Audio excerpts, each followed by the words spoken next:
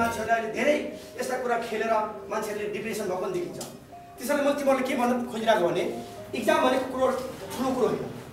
Exam भनेको आफूले पढेको तयारीलाई निर्धक्क साथ उसले कक्षामा लेख्न सक्नु लेख्न सक्नुपर्ने हुन्छ।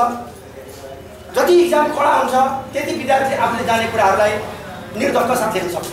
र जति आफूले निर्धक्क साथ लेख्न सक्यो त्यो विद्यार्थी भनेको त्यति आफ्नो भविष्यको लागि राम्रो उसले पर्सेन्ट ल्याउन सक्ने आफ्नो भविष्य बनाउन सक्ने हुन्छ त्यसैले भोलिदेखि आउने इक्जाममा तिमीहरूले नातिकन नडराइकन राम्रोसँग पढेर आउने र निर्धक्क साथ दायाँ बायाँ नगरिकन चट्ट आफ्नो लेख्ने अनि चट्ट जाने भोलिको विषय पढ्ने यसरी ढुक्कताले गऱ्यो भने जहाँ पनि राम्रो हुन्छ।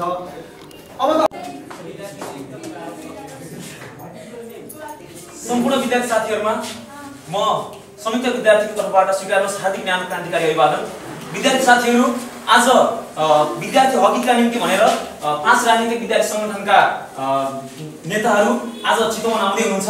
उक्त कार्यक्रमलाई सम्बोधन गर्न विभिन्न पार्टीका नेताहरू पनि उपस्थित हुँदै हुनुहुन्छ। उक्त सभामा चाहिँ तपाईँहरू सम्पूर्ण विद्यार्थी साथीहरू उक्त र्यालीमा सहभागी भइदिनु हुन म विनम्र अनुरोध गर्दछु।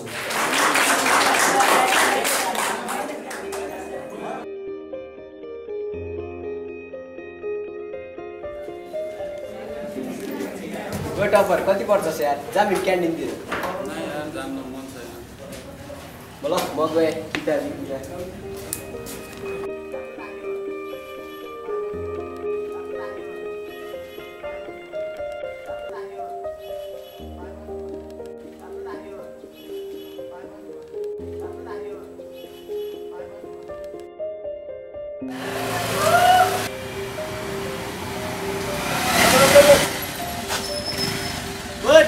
छ कतिको छ त इक्जामको तयारी? अनि हाम्रो नेताजीको प्रोग्राममा जानुहोस् त। किताबी किरा पढेर बस।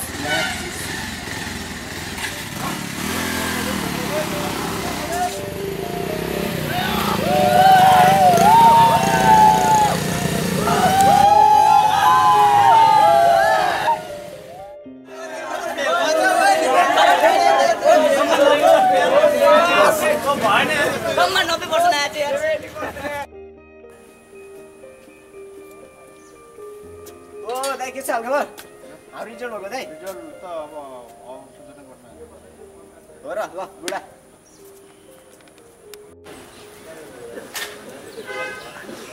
ओ टपर टपेर देखाइस् कि के भयो त्यो रिजल्ट सेकेन्ड भएछ यार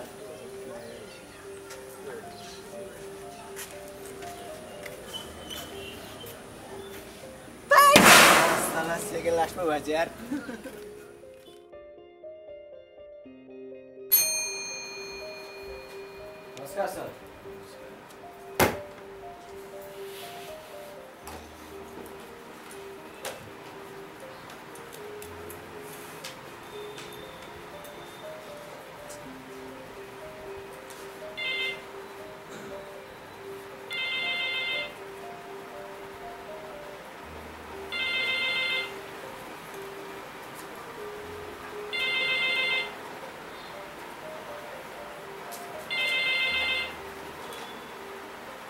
हेलो।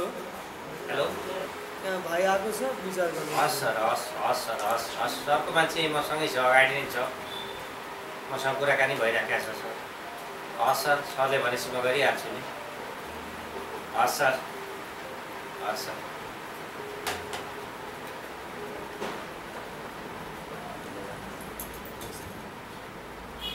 आउनुहोस्। बिहान दस बजी आउनुहोस्।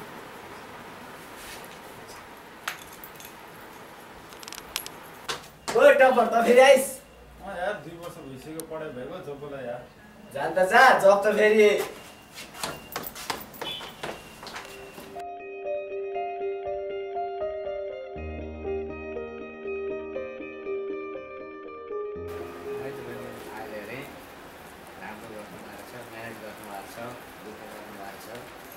के गर्ने यो जागिर मैले त्यही दिइसकेँ अन्त भएको छु फेरि त्यस्तो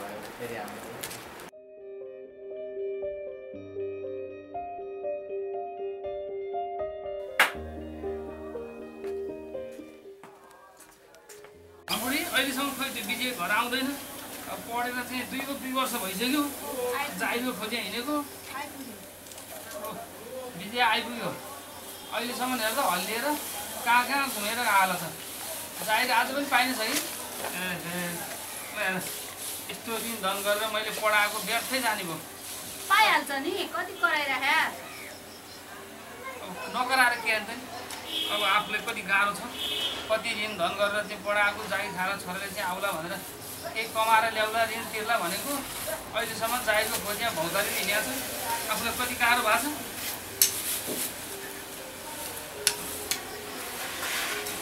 नि त खाला जागिर। कति कराइराख्या? आजभोलिको केटाहरूलाई धेरै कराउनु हुन्न क्या? खायो तिम्रो छोराले जागिर।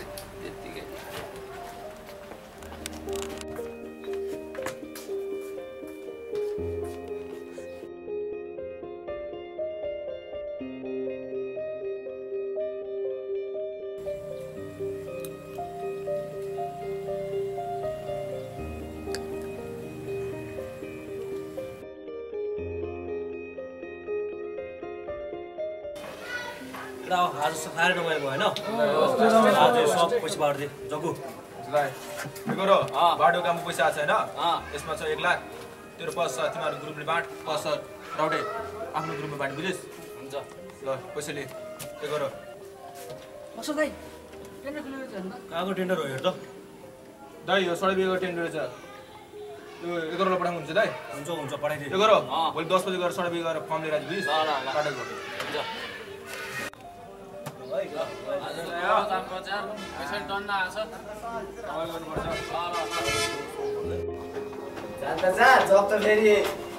बाटो काम पैसा छैन यसमा छ एक लाख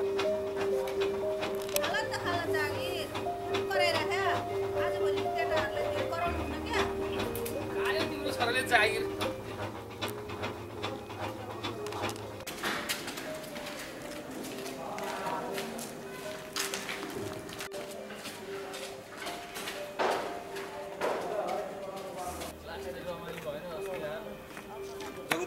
मान्छे आज तपाईँलाई कस्तो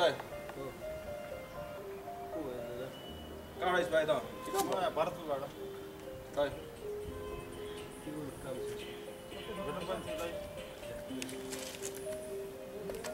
के गर्नु म पनि तपाईँहरू हिँड्नु पऱ्यो दाइ।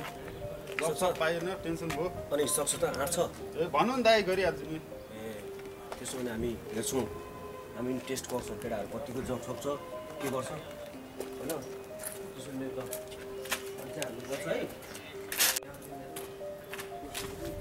त्यो है किन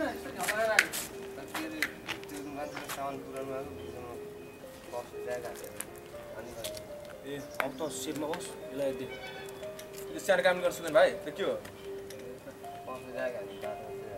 ओके ठिक छ त्यसो भने त सेपमा बस उता म मिलाउँछु कुरा है?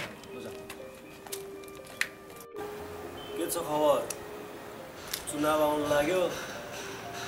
केटाहरू चाहिन्छ कि चाहिँदैन। ल ल मात्र होइन नेताजु भोलि भाइहरू आउँछ। तिनीहरूलाई चार पक्का पठाइदिनु पऱ्यो फेरि चुनाव नजिकै छ विचार गर्नु होला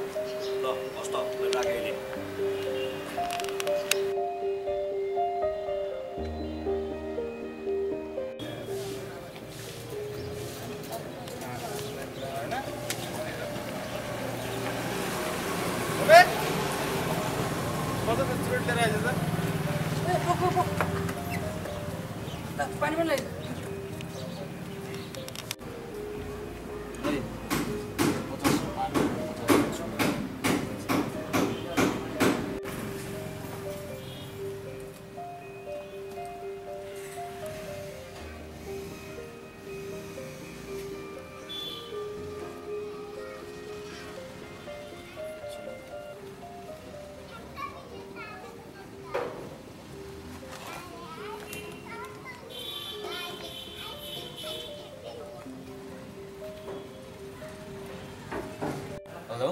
विजय दाई तपाईँको तपाईँको पचासको पानी ल्याउनु कि चुरोट ल्याउनु? जुन पचासको ल्याइन ल्याएन एउटै त हो नि। केटाहरू पनि कस्तो छन् कुन पचासको पानी कुनको चुरोट रे।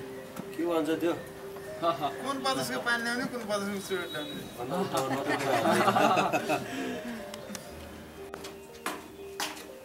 पैसा पैसा नि रोकडा त ल्याखास् रोकडा तँलाई कहिले नदिया हो र सानो दिन त। यस्तोमा त फेरि उधारो सुधारो चल्दैन नि त फेरि। कहिले उधारो लिए बाबु? ए ल लैत ल जोसीको पैसा लैत ल उ ल मोज गर।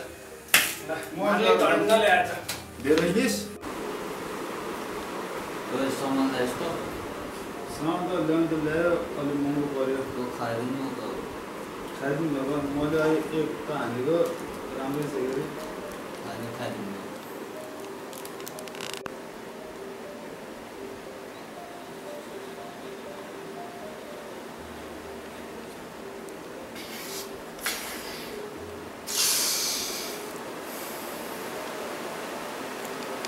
तिमी हान्ने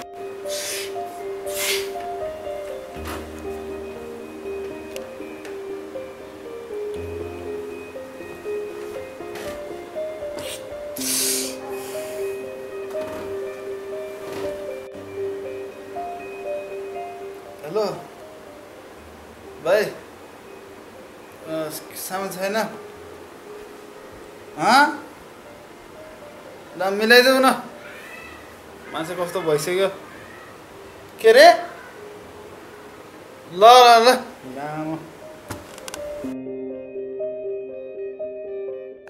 मर्निङ फ्यामिली म Divyan addict morning family morning हमारे रेडी मर्निङ फ्यामिली म Vijay Vijay family morning family morning Bhim NID hi Bhim morning family morning Narayan नारी hi Narayan morning family morning सारा फ्यामिली सरी हाई सर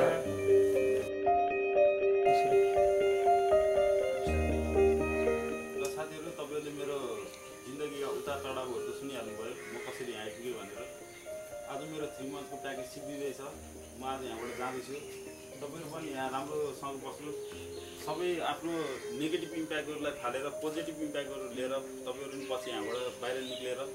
केही आफ्नो लाइफमा positive कुराहरू गर्नुहोस्। पहिलाका जसरी तपाईँले आफ्नो दिनहरू कटाउनु भयो त्यो दिनहरू बिर्सेर यहाँ के के सिक्नुभयो के जान्नुभयो त्यो आफ्नो रियल लाइफमा उतार्नुहोस्।